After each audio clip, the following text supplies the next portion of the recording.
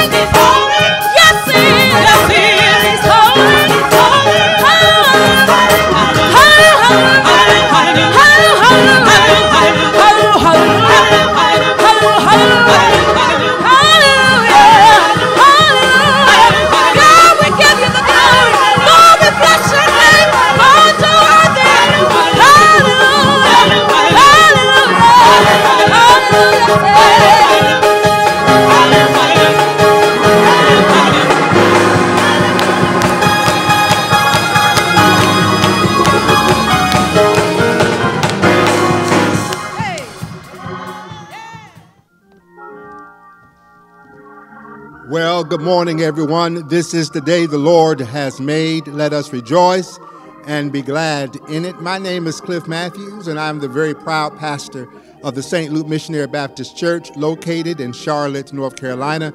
And on behalf of the members and friends of St. Luke, I want to say welcome to our worship service this morning. If you are a first time visitor, we want to say welcome to the Luke.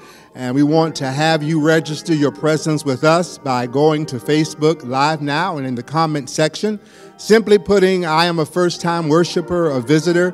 And if you do that, St. Luke will give you some great big St. Luke love. Amen. And if you are a returning member of the family, welcome home. God loves you, and so do I. And thank you for giving us another opportunity to lead you in worship today. Well, you know how we do it here at St. Luke. We want to ask, first of all, that you share this link on Facebook and invite someone to come to church with you.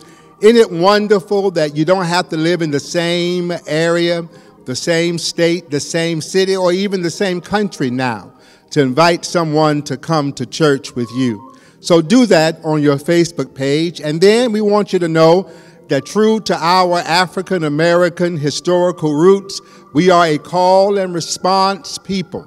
So during worship, you're not to sit back idle as if you are a spectator, but you are to be engaged in worship. And you can show your digital amens by using one of the emojis you have, or you can use the thumbs up or the heart symbol.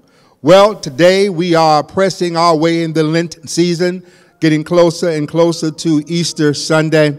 And today we are continuing our sermon series around the title, The Color Purple. And I believe God has a special message for us today. Well, beloved, at this time I invite you to join in with me, please, in our call to worship, which is found on your screen.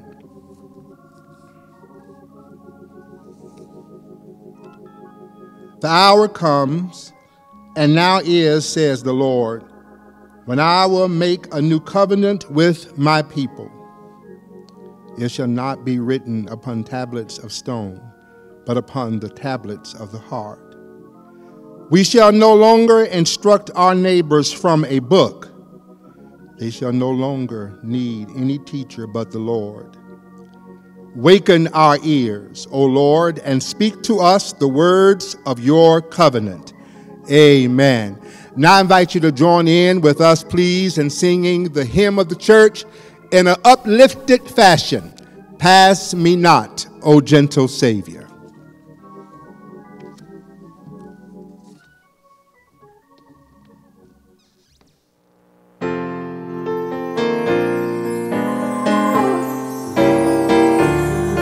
Come on, St. Luke. Let's sing this song together. Come on, ladies.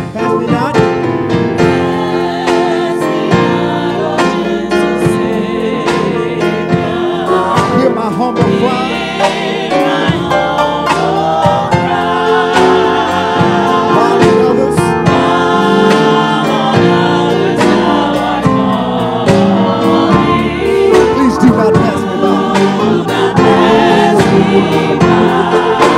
Come on, let's call him Savior.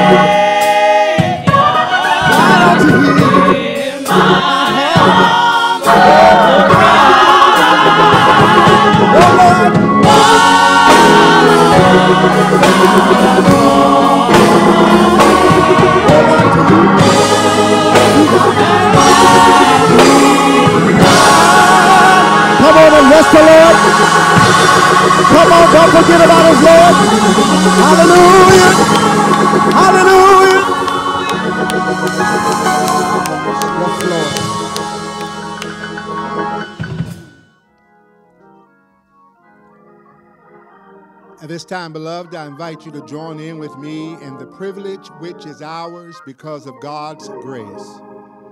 The opportunity we have now to come and confess our sin against God and our neighbors. Most merciful God, we confess that we have sinned against you in thought, word, and deed by what we have done and by what we have left undone. We have not loved you with our whole hearts, nor have we loved our neighbors as ourselves. We are truly sorry, and we humbly repent. For the sake of your Son, Jesus Christ, have mercy upon us and forgive us, that we may delight in your will and walk in your ways, to the glory of your name. This we ask in the name of Jesus, our Savior, who has taught us to pray, saying, Our Father, who art in heaven, hallowed be thy name. Thy kingdom come, thy will be done on earth as it is in heaven. Give us this day our daily bread, and forgive us our trespasses, as we forgive those who trespass against us. And lead us not into temptation, but deliver us from evil. For thine is the kingdom, and the power, and the glory forever and ever. Amen. Beloved, rest in the promise of Scripture. If we confess our sin, our God is faithful and just to forgive us our sin and cleanse us of all unrighteousness. And to that, wherever you are, you ought to say, Amen. At this time, beloved, I invite you now to join in with me in our scripture reading for this morning, found in the Hebrew Bible in the book of Psalms. Psalms 51, verses 1 through 12. And I'm reading this morning from the New Revised Standard Version of the Bible, where you will find these words Have mercy on me, O God, according to your steadfast love, according to your abundant mercy. Blot out my transgressions. Wash me thoroughly from my iniquity and cleanse me from my sin. For I know my transgressions, and my sin is ever before me. Against you, you alone, have I sinned and done what is evil in your sight, so that you are justified in your sentence and blameless when you pass judgment. Indeed, I was born guilty, a sinner when my mother conceived me. You desire truth in the inward being. Therefore, teach me wisdom in my secret heart. Purge me with hyssop, and I shall be clean. Wash me, and I shall be whiter than snow. Let me hear joy and gladness. Let the bones that you have crushed rejoice. Hide your face from my sins and blot out all my iniquities. Create in me a clean heart, O God, and put a new and right spirit within me. Do not cast me away from your presence, and do not take your Holy Spirit from me. Restore to me the joy of your salvation, and sustain in me a willing spirit. The Word of God for the people of God. Thanks be to God. Amen. Let us pray. O God, with whom we have set ourselves at odds and from whom we have gone astray, the separation between us would have been final but for you. The more we tried to break free from you, the harder you sought to keep hold of us. And finally, O Lord, you brought us back, not with the yoke of iron, but with the yoke of love. Now that we are home in your tender embrace, let us freely take upon ourselves your yoke For your yoke is easy and your burden is light. This is our prayer that we ask in your name, along with Jesus, our Savior, and the Holy Spirit. This is our prayer. Amen.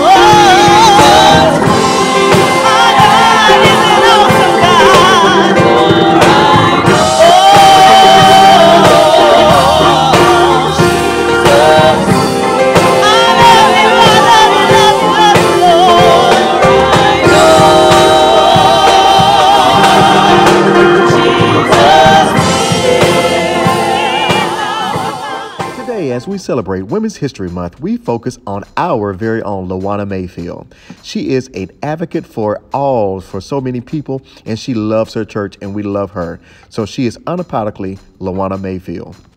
Take a listen at her story. Hi, I am Lawana Mayfield. I'm a servant leader who has humbly served this community for over 30 years in various capacities, focusing on equity and inclusion. Lawana embodies social justice for all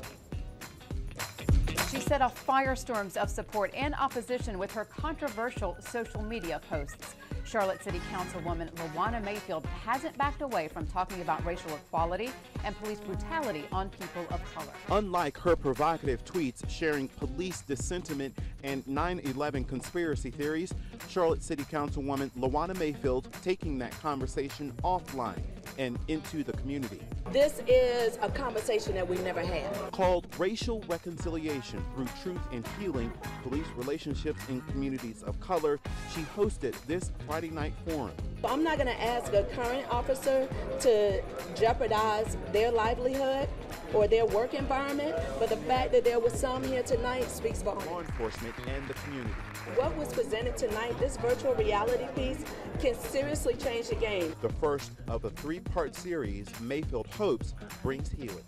We need to start a real dialogue, and we have an opportunity to train our officers better. My community is majority minority, and I represent District 3 as well as the entire city when I vote. And when we have members of our community that are in fear, I have to take that into consideration. That's your driving force. My driving force is making sure that we stay a welcoming community, and it's hard to do that under language and things that we have seen in this current administration. She is an advocate for children and youth and any of those that are underserved and underprivileged it was a $106,000 gap between all the organizations. So we have our discretionary fund that has about 200,000 in it. I said, okay, that's less than 60 days before the funds replenish. So I propose for us to spend that 106 on the front end so that we don't have any of our children falling through the cracks it does take six votes on council to move forward.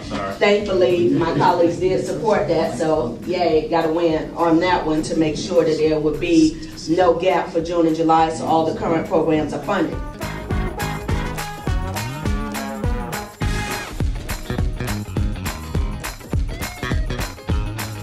And the reality that that impact of an adult officer, whether he's black or white, physically lifting up a young African American child that looks like he's around eight who's in a playground fight with another child and slamming that African American child on the ground, opposed to separating the children and teaching them to use your words? She is Lawana Mayfield. She loves her church, her God, and her community. Today we celebrate and recognize all the contributions that you have made to our world.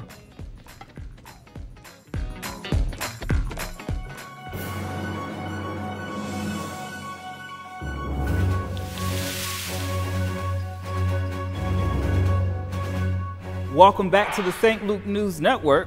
I'm MJ3. These are your notices and announcements for the month of March 2021.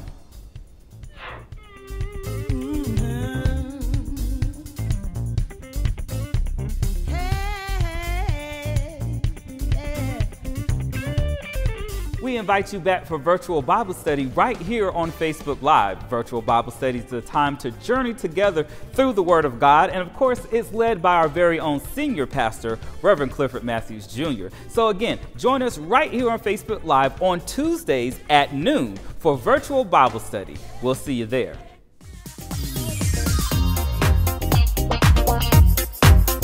The month of March is Women's History Month and is the month that we celebrate women here at St. Luke. So keep a special watch out for uh, the praise and worship team, from special inserts in our worship service and special presentations all month long as we celebrate the women of St. Luke and the women of our community. It's the month of March, and so it's time to celebrate those birthdays, time to celebrate those special occasions, those anniversaries. Happy birthday, happy special event, happy special occasion. Take a moment right now. Let us know in the comment section what are you celebrating in the month of March. Also, while you're typing, welcome first-time visitors, welcome back old members and friends. Type in the uh, comment section right now and let us know where you are visiting from, and we'll be sure to send you some St. Luke love. Welcome to St. Luke. Thank you so much for watching this edition of the St. Luke News Network. Before I go, let me remind you to make sure that you like us here on Facebook. Make sure you subscribe to our YouTube page at www.youtube.com slash St. Luke CLT. And also, make sure you are subscribed to Members in the Know. All you have to do is hit the keyword KNOW to the number that you see on the screen. Well, thank you so much for joining us for this edition of the St. Luke News Network. We'll see you next week.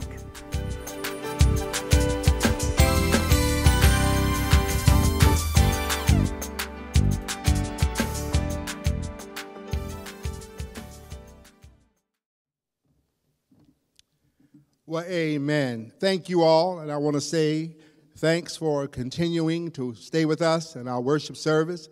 And I hope even now that something has already been done or said that has helped you along the way.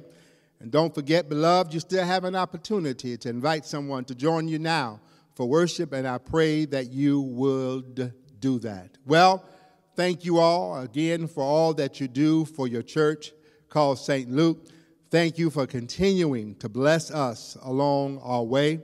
Uh, we are pressing our way towards our goal of securing a new uh, system for us to make sure that our broadcast is not just done, but it's done with excellence and quality. You have responded, and for that I say thank you. Uh, we are moving in the right direction. And uh, just in case, I know you're probably tired of seeing it, but you know what? Just in case uh, you haven't had a chance to understand what we're doing, I want us to take another look at this video, and I want us to see what we are trying to accomplish to share this news and to support it the best you can. Uh, watch this video, and I'll come right back to you. Well, this is the day the Lord has made. Let us rejoice and be glad in it. You know, I'm Pastor Matthew, St. Luke Missionary Baptist Church, and I'm here today with Greg Davis.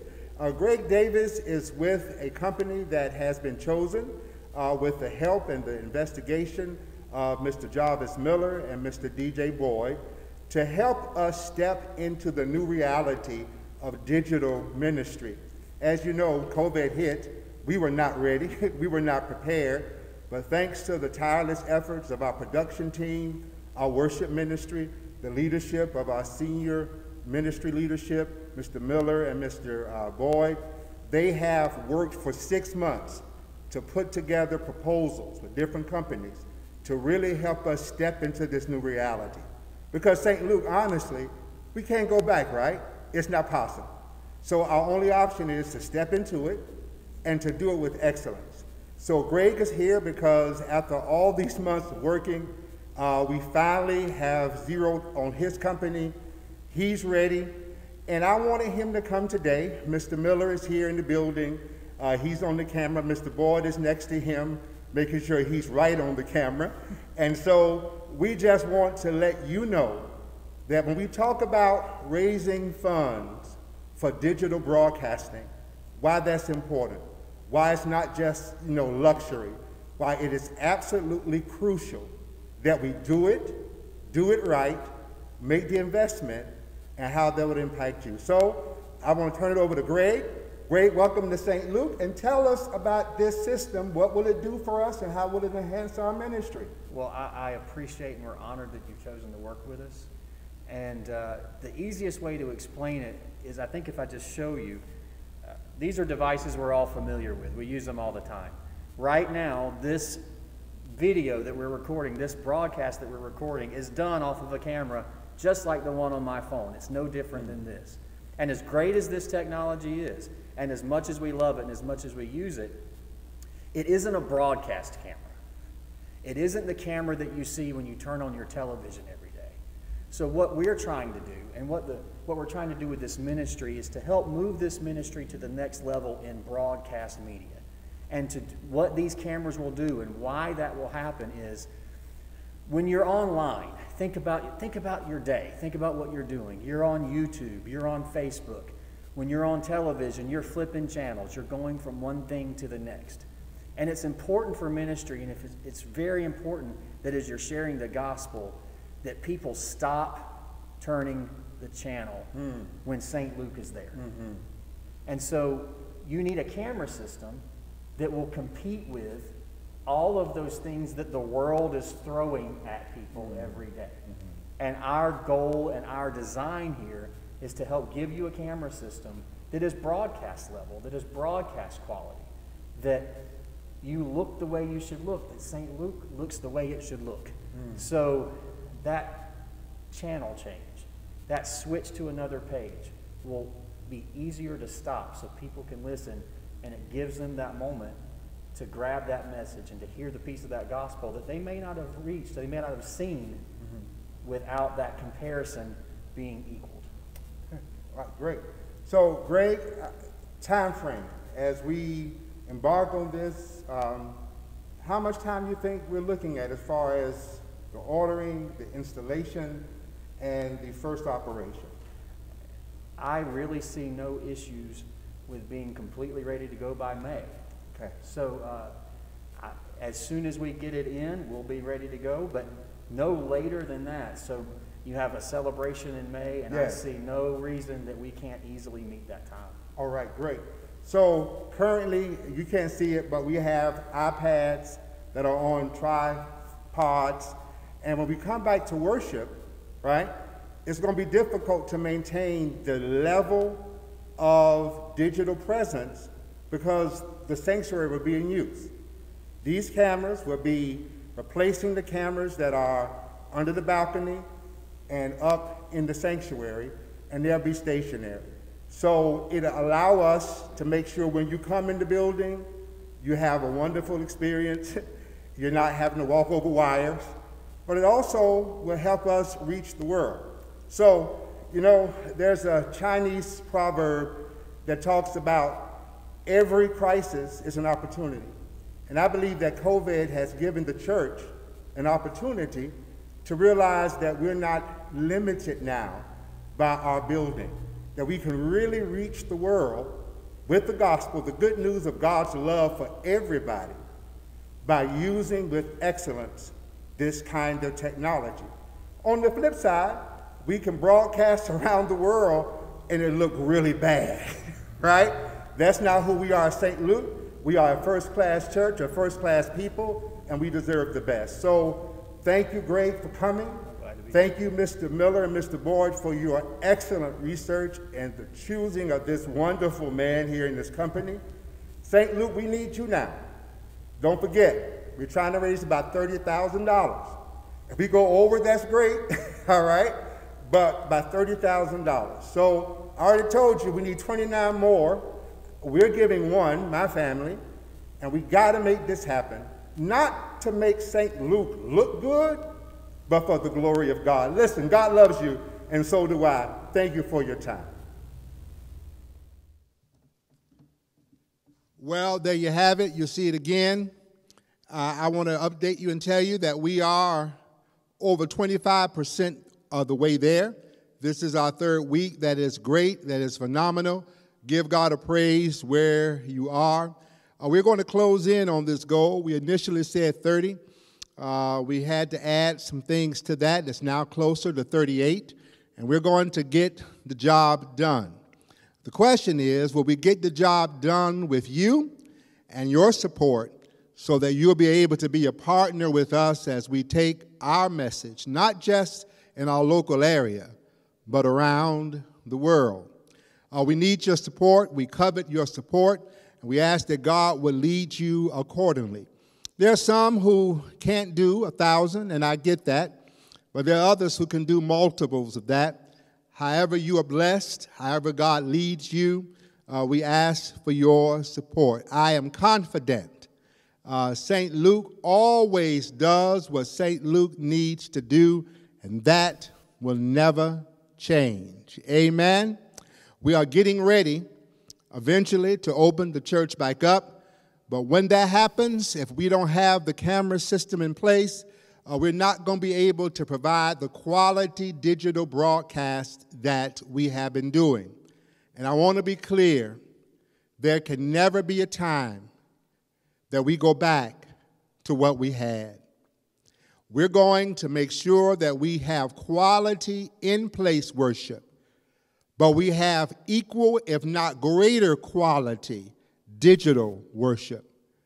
Because God wants us to take God's word around the world. And St. Luke, we're like John the Baptist. we are that voice crying out in the wilderness. We have a message of God's grace and God's love that the world needs to hear now more than ever.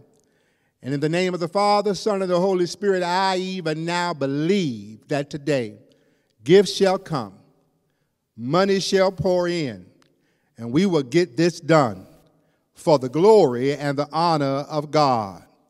We'll celebrate it, not because we've accomplished a goal for ourselves but we are positioned to accomplish something good for the kingdom of God. Give God a praise for the St. Luke Missionary Baptist Church. God loves you, and so do I.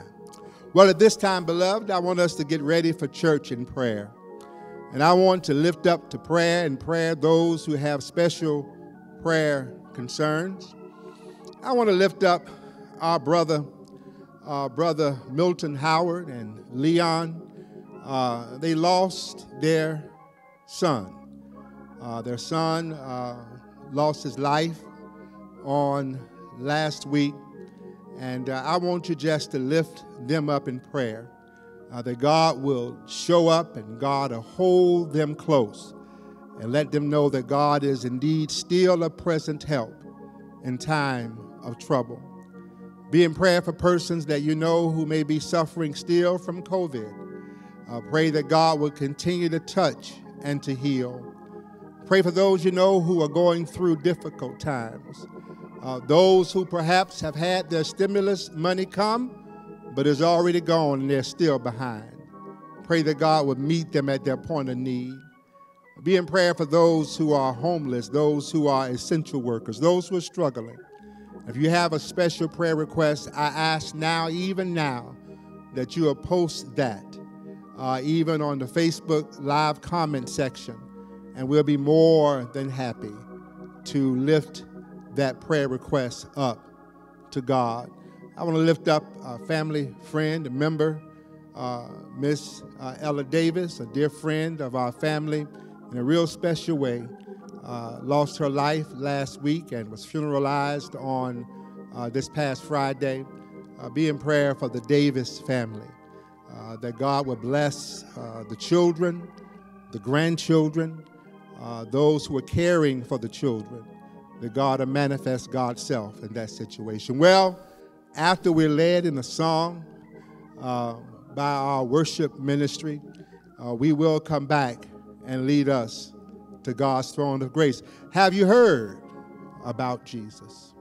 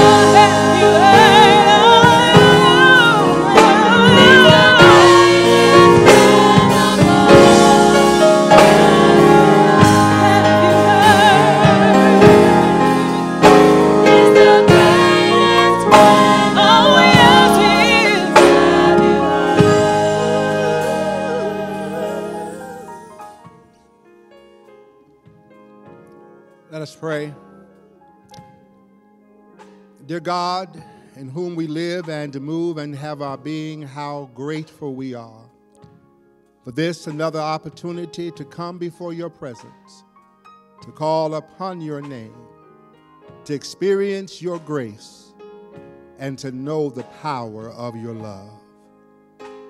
Dear God, today we don't have many words to say at prayer. Help us today, dear God, to bask in the gratitude that should be ours because of who you are and all that you've already done. Dear God, we come before you today asking a special blessing upon those who are walking now the journey of bereavement. Touch them. Let them know the power of your divine presence. Let them sense that you are indeed still God and still working things out in their lives. We lift up, to God, the Howard family. We lift up the Davis family. Hold them now close in the name of Jesus. Let them know that you're still God and you're yet working. Dear God, we lift up to you those who have placed prayer requests on Facebook. You see it, you know it already. And as they did so as an act of faith, we ask now, dear God, that you touch according to your will. We pray for families. We pray for finances. God, we pray that you bless those who are struggling even now, who've lost hope, who feel as if the world has turned against them. God, I believe today I'm talking to somebody, God, who's at the end of their rope and they're thinking thoughts that are not good for them. Dear God, in the name of Jesus, now I speak power into their lives. And in Jesus' name, I declare that they are overcomers. They are loved. They are your children. Help them to see their potential and to dare to walk in it. Dear God, we come now praying for this world, for this country. And dear God, we pray that as you continue to work throughout this world in the midst of this pandemic, we want to say thank you. Not for the lives that were lost, never. We want to say thank you for the lessons we have learned in the midst of this pandemic. We have learned that you are faithful, learned that you are with us. And we've learned that even in this, there's opportunity that you have for us. And now, dear God, we ask you to bless the leaders of our country, of our state, of our county, our city, those who aspire to lead. Dear God, bless them in the name of Jesus. And dear God, we ask you to go to hospitals now and touch and heal. We ask you to walk through homes even now and strengthen homes. Bless children who are going back to school on a regular basis, even on this week. Dear God, let them be healed. Let them know there is protection. Let your grace go with them in the name of Jesus. And dear God, I ask you to bless this church called St. Luke. Ah, oh, God, you've been mighty, mighty good to her. Keep on blessing. Keep on showing favor. Keep on sending blessings her way. As she has helped others, may you show yourself real in the midst of her own life. This is the prayer we ask. In the name of Jesus, our Savior, who lives, who is our friend, and our very present help. And all God's children said, Amen.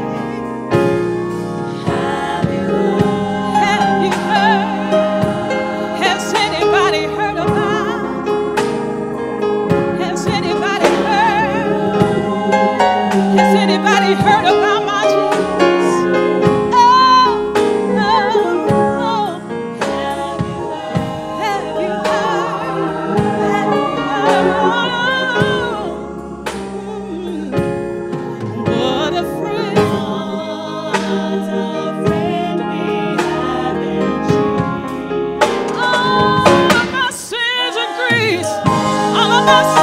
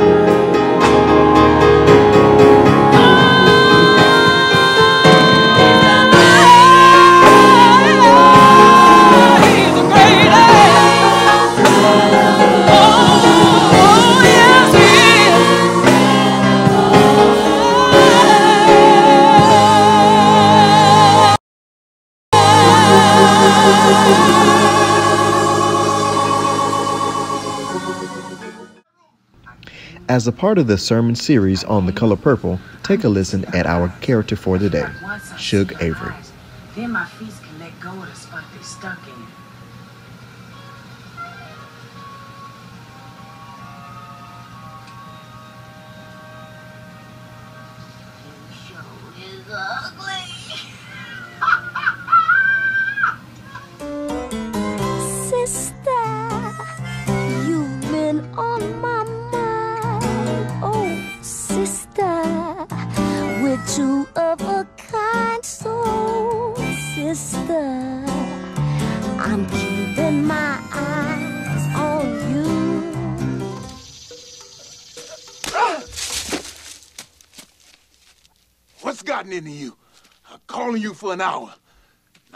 My shave and don't keep me waiting.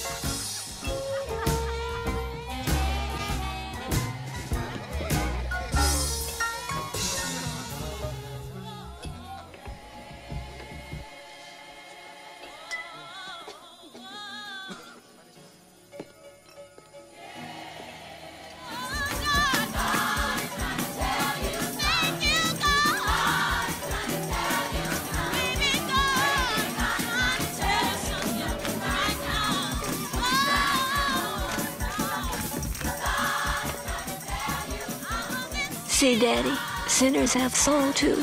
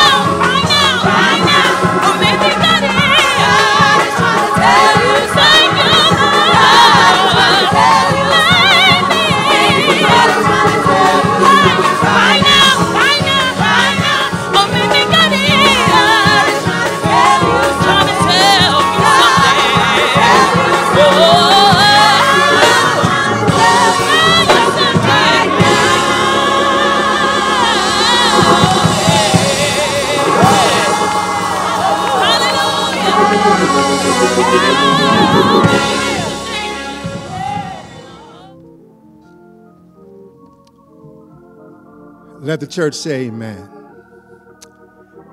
Well, beloved, today I want to continue part three of our sermon series around the general title, The Color Purple. Today I want to invite you now to the New Testament, to the book of Romans, chapter 8, and I want to zero in on verse 1. Romans chapter 8, starting at verse number 1. My God, my God, my God. Romans chapter 8, starting in verse 1, or ending in verse 1 as well. And I'm reading from the New Revised Standard Version of the Bible. There is, therefore, now no condemnation for those who are in Jesus Christ. It's short enough, let me read it again. There is therefore now no condemnation for those who are in Christ Jesus. Today I want to preach for a few moments from the subject Shug's open letter to the Pope. Shug's open letter to the Pope. Let's go to God in prayer. Father, where I am, you brought me. What I know, you taught me. What I have, you gave me. What I am, Lord, you made me. Lord, I am depending on you. Can't do nothing till you come. This is your servant's prayer. I ask it in Jesus' name. And all God's children said, Amen. Shug's open letter to the Pope. This week, as I was working on my sermon series around the theme, the color purple, I woke up early, as is my custom. The house was quiet.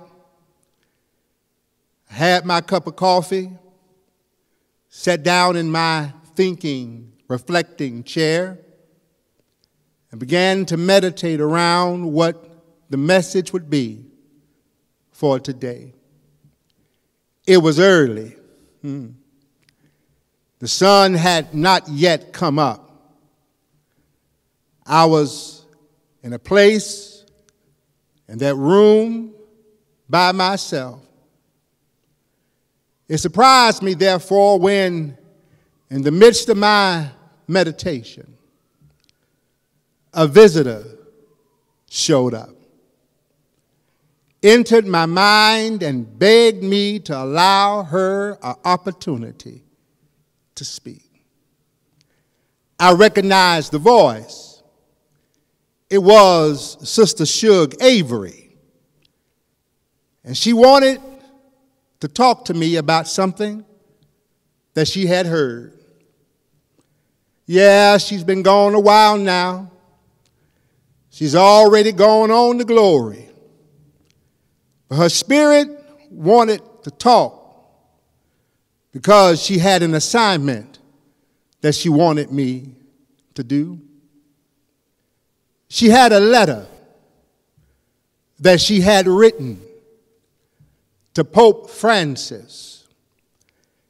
She wrote it this week after hearing his comments.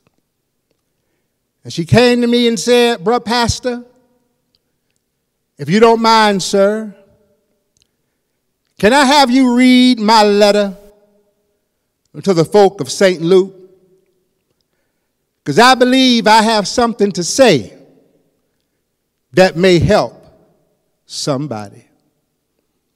Of course, who could refuse Shug Avery? I said, All right, let me have it. She gave it to me. I studied it. And I've come today to deliver to you on behalf of Shug Avery and the Shug Averys everywhere her open letter to the Pope.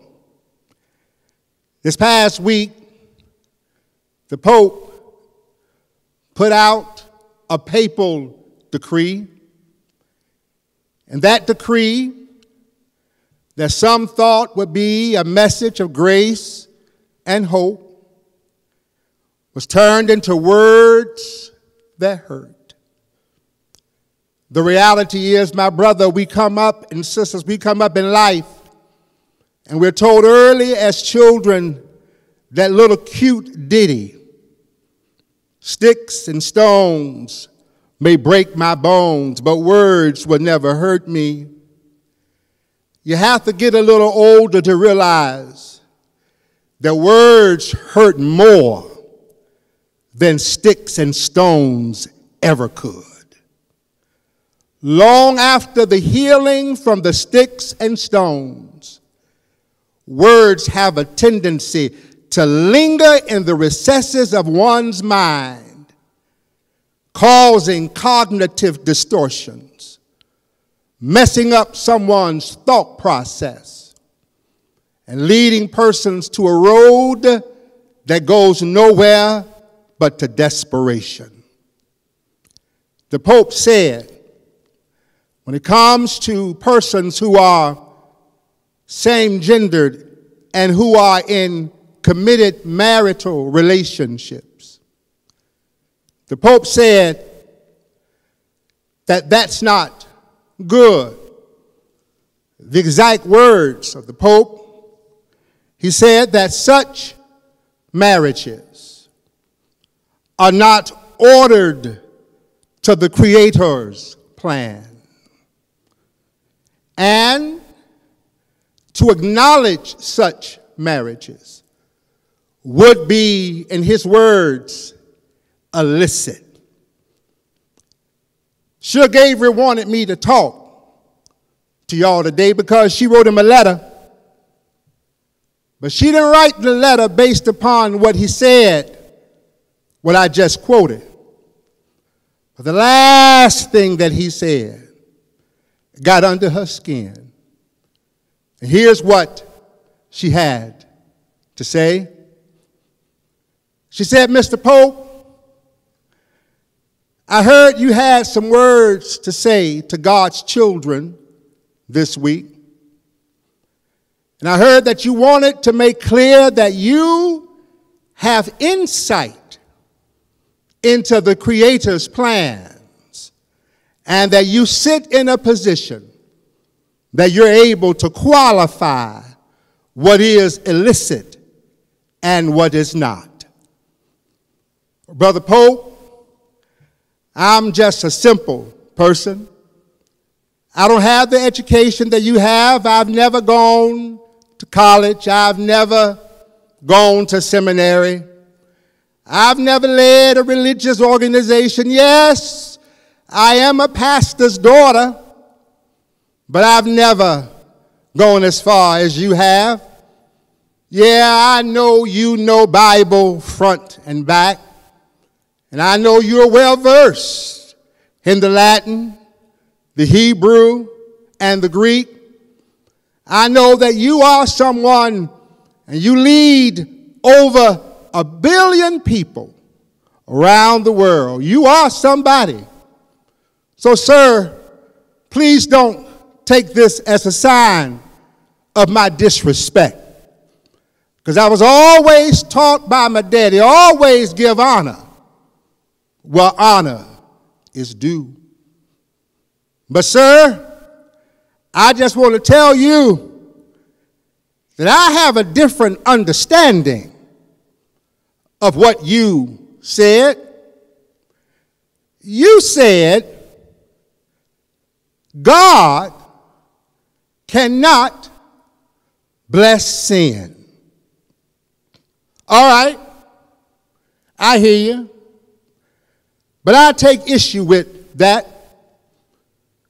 And I'm going to tell you what I think about what you said, sir. You see, I am a woman of color. My people came to this country not because we were immigrants that came through Ellis Island. No, we made our journey to this country in the hulls of slave ships, coming through the Middle Passage, finding our way to the ports of Charleston and Savannah and New Orleans, where we were sold as cattle, inspected like horses, and sold to the highest bidder. There was always a sense in this country that black bodies aren't as valued or as prized as others. And so, while I'm not as trained as you are, I understand enough of my history to know that that horrible institution called slavery had its supporters in the church. In fact, the same Bible that you use to talk about the Creator's plans, the same book you use to say what God wants, is the same book that was used to justify the enslavement of folk whose skin was dark like mine. They turned to sections of the Bible. They talked about what the Bible says. They even sent preachers out on assignment to tell my ancestors to go ahead and listen now because your enslavement is part of, get this now, the Creator's plan. That you were cursed with the curse of Ham. That you are not as equal to other folk. Your dark complexion is the curse of the Almighty.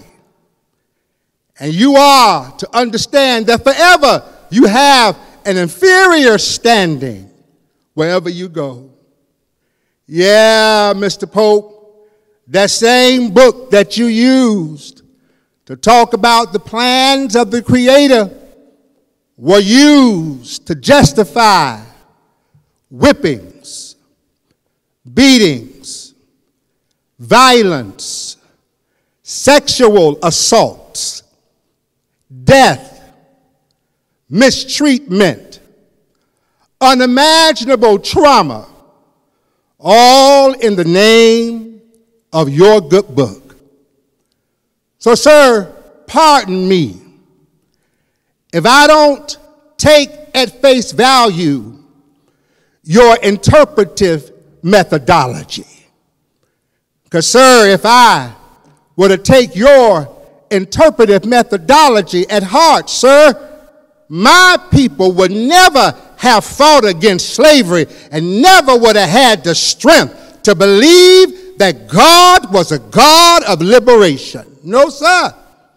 Because that book, that same book, Mr. Pope, that you quote and you say is God's or the Creator's plan, justified slavery, and so my people, browned by the sun, blessed by Almighty God, read the same book that you read, but we dared to believe in a different kind of God. Yeah, we couldn't interpret it like y'all did. For to interpret the Bible like y'all did would only led us to more suffering and death. It will only heighten our inferiority complex. So, no, sir, we rejected that. We practiced what some call the hermeneutic of suspicion. That is to say, whenever someone as light as you told us what God said, we had to check it out for ourselves. Because every time we listened to folk that looked like you, sir, it led us to more pain and suffering. So, sir, the first thing I want to tell you is I don't read the Bible like you do, sir. And I ain't trying to change you. I just want you to respect the fact that the book that you open is not just the prized possession of folk that look like you, but even folk that are brown like me. We have a right to interpret that book. I ain't mad at you, sir. But first of all, I want to tell you, we don't, I don't interpret it like that. But secondly, what really gets me is that I know history, sir. And I know that the church that you lead, and I'm not trying to bother you, sir. The church that you lead is old. And the thing about being old is you have a whole lot of history. Sir, I read about the Inquisitions and how your church, under papal leadership, went about targeting Muslims and Jews to force conversion or else they die. Yes, sir, I, I know about that. And, sir, I know enough about history to know that on the issue of slavery, not only in America but around the globe, that your church was slow, sir, to act and to move. Sir, I, I also know history to know that your church, popes like you, sanctioned the genocide of native people because you felt compelled to be on those ships that went around the world. Columbus had some. And you really felt it was God's plan to indeed Christianize the savages. You, sir, your church, sir, was party historically to massive genocide of native people in South America, Central America, and in North America. Yes, your church. I'm not saying I don't. I have a lot of friends, sir.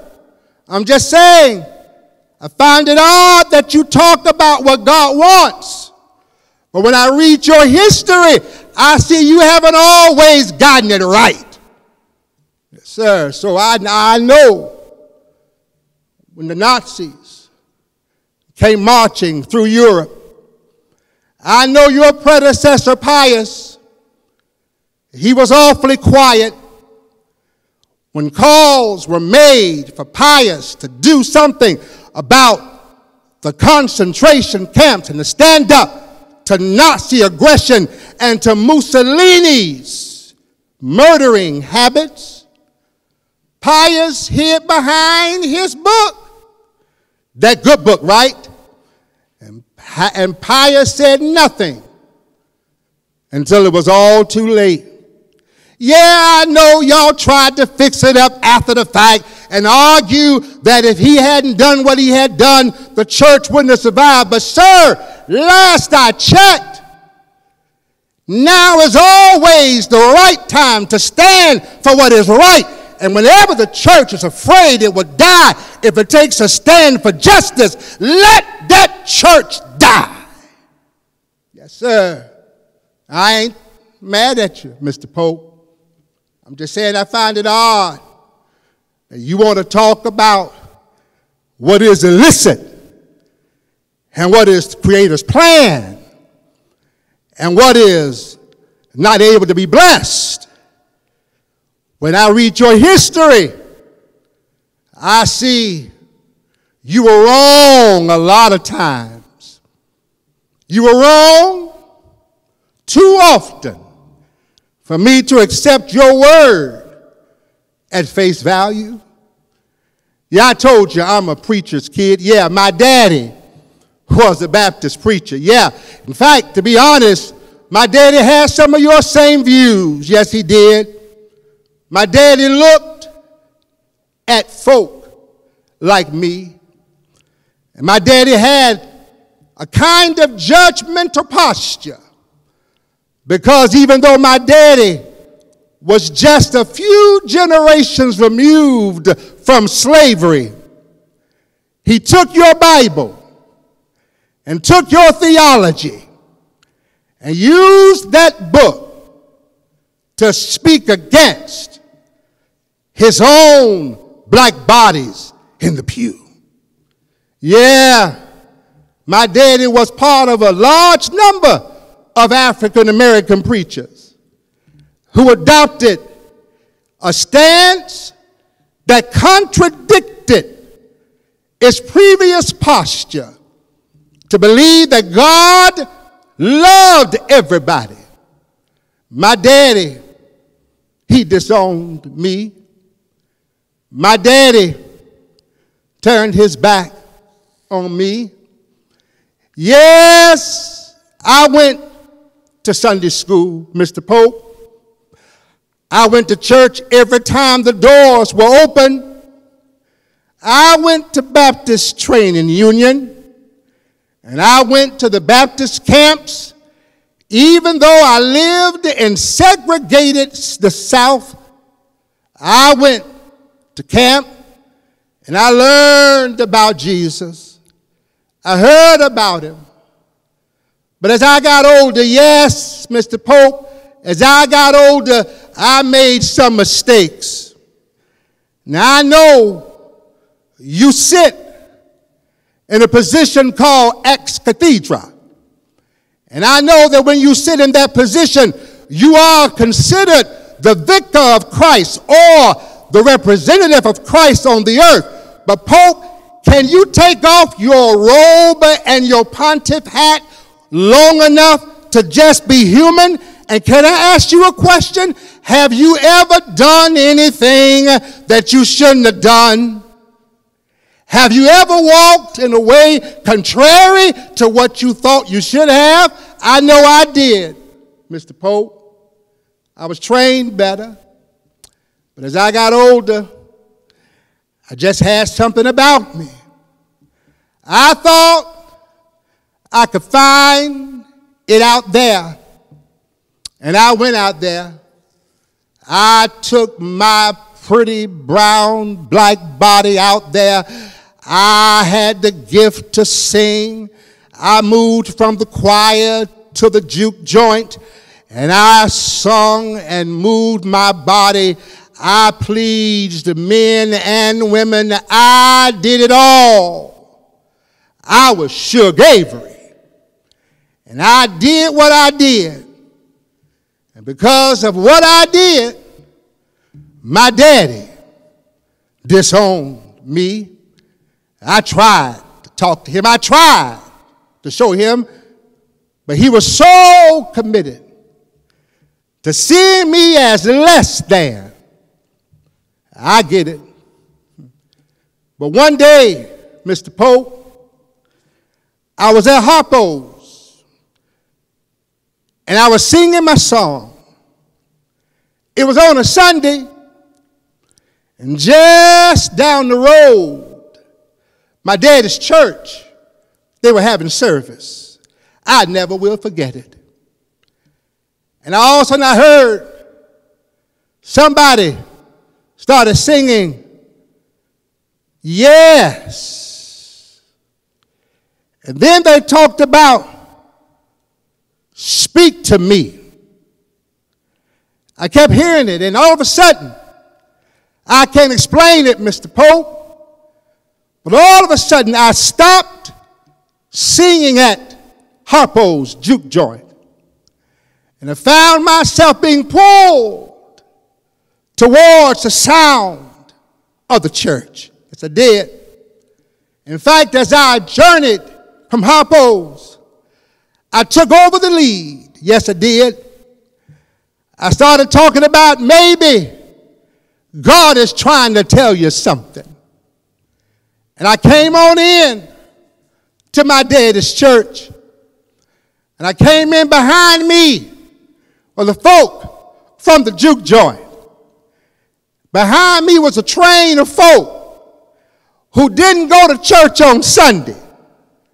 But when I came in, they came behind me and I got to the altar. I stood before my daddy. And on that day, he took off his glasses, came down from the pulpit, and I held out my arms, and he grabbed me for the first time in years and held me. And I cried like a baby. But I told him, See, Daddy, even sinners have soul. Daddy, sinners have soul too. Yes, don't think I left that place and never returned to singing my music. Hmm. No, don't think, Mr. Pope, that I became some great gospel singer. No, sir. You see, what I was trying to tell my daddy is this that God will meet you where you are. And I told my daddy, Daddy, even sinners have soul too. Yeah, Mr. Pope, I heard what you said. And I want to tell you now what I found out for myself. You said that God can't bless sin?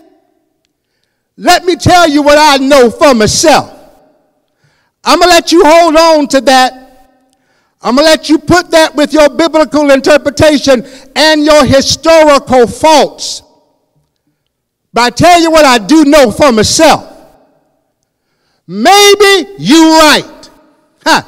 Maybe God can't bless sin. But I tell you what God can do God can bless the sinner. Yes, God can. So, Mr. Pope, I want to tell you what I know for myself.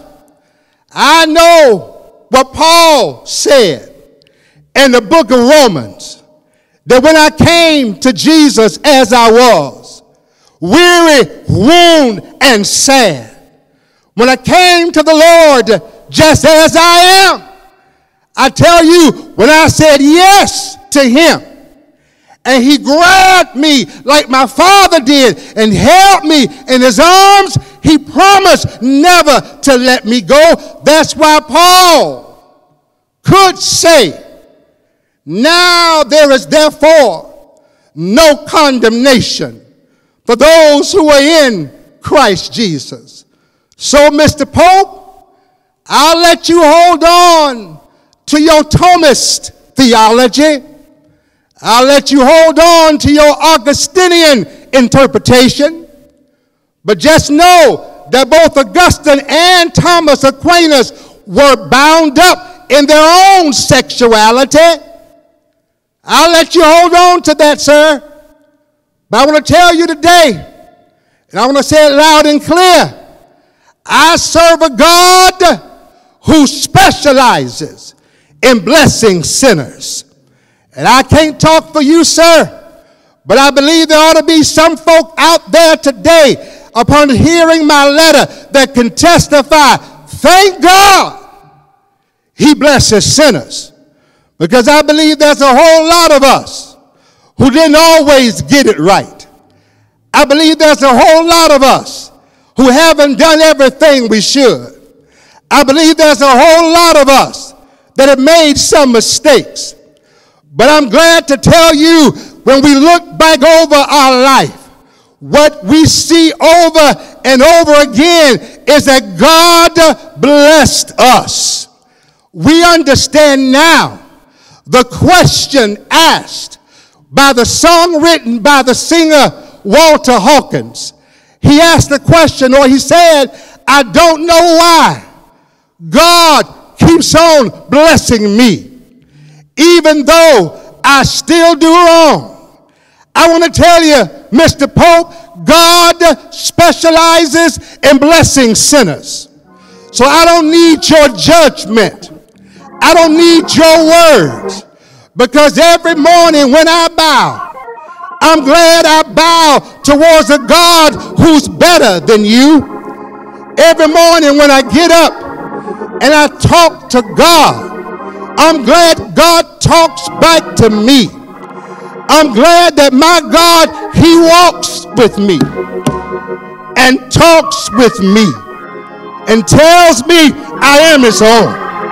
I'm glad, Mr. Pope, that I serve a God who doesn't stand off and judge me, but I serve a God who loves me just the way I am. So, Mr. Pope, you keep on writing your words.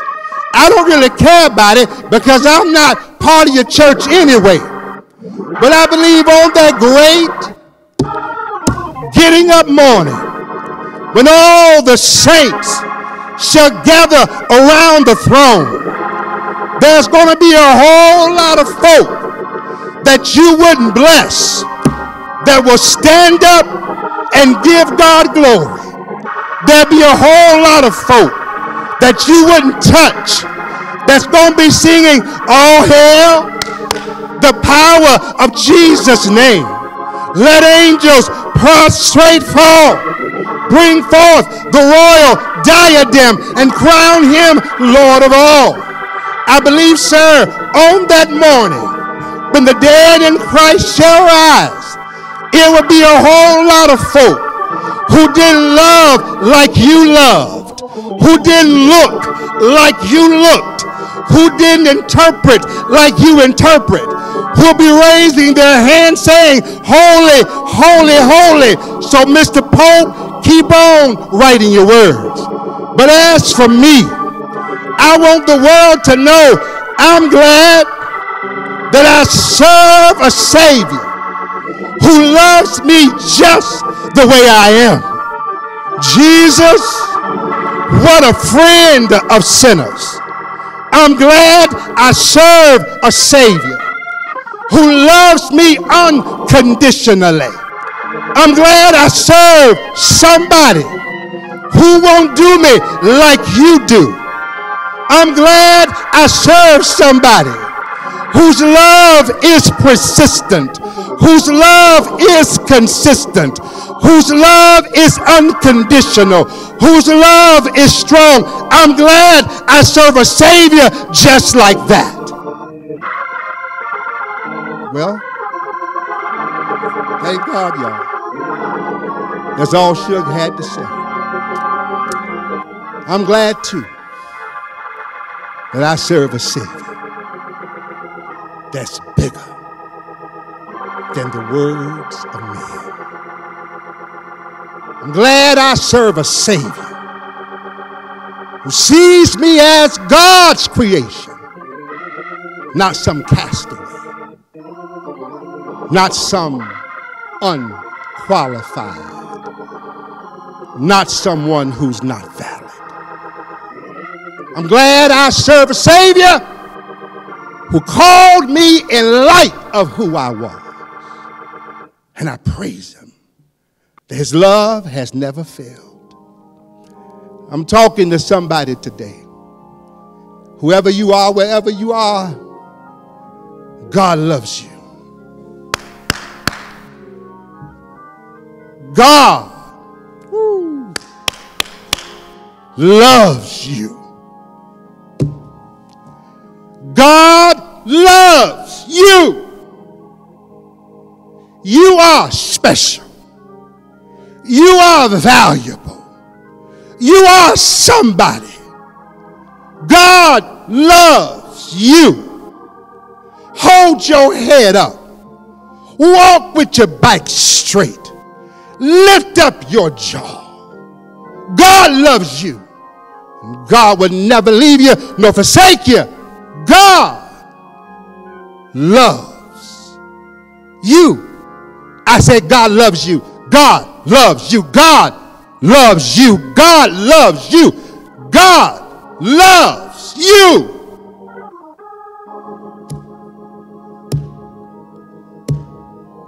Thank God that God won't do you like man. Dear God, I want to thank you.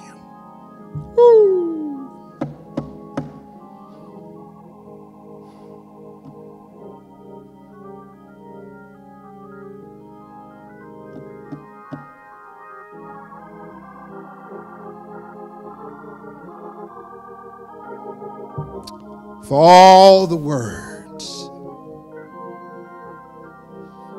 that you say to us that drown out the words of folk who say they speak for you. Somebody needs you today. Woo! Somebody needs you today. They're valuable, they're special, and they are your child. Bless them, I pray, in the name of Jesus. And all God's children said, Amen. God loves you. God loves you. God loves you. God loves you. God loves you. God loves you. God loves you. God loves you. And He will never stop loving you. God loves you. God loves you. God loves you. God loves you. God loves you. God loves you. Every part of you. God loves you. God loves you. God loves you. Woo! At this time, beloved, I